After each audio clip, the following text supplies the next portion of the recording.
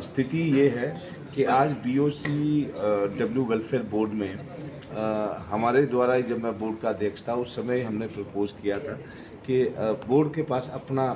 निजी स्टाफ जो है निजी अधिकारी जो है वो बोर्ड के अपने होने चाहिए। और क्योंकि लेबर ऑफिसर्स के पास कंसाइलेशन का काम है लेबर ऑफिसर्स के पास जो है वो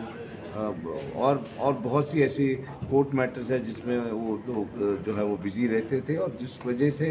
बेनिफिट रजिस्ट्रेशन प्रोसेस जो है वो प्रॉपर अडॉप्ट नहीं हो रहा था रजिस्ट्रेशन नहीं हो रही थी बेनिफिट डिस्पर्स नहीं हो रहा था एंड सबसे इम्पोर्टेंट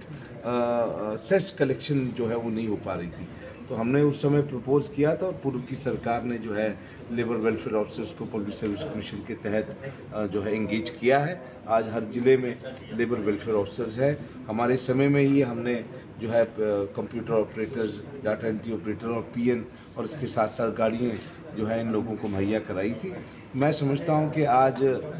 जिस तेज़ी के साथ इन लेबर वेलफेयर ऑफिसर्स को काम करना चाहिए, ये नए लोग हैं, पर बहुत सुस्त तरीके से जो है वो काम चला है और रजिस्ट्रेशन जो है वो बहुत कम हो गई है। मनरेगा वर्कर्स को रजिस्टर करना बंद कर दिया है। यूनियंस के रिप्रेजेंटेशन को जो है ये लोग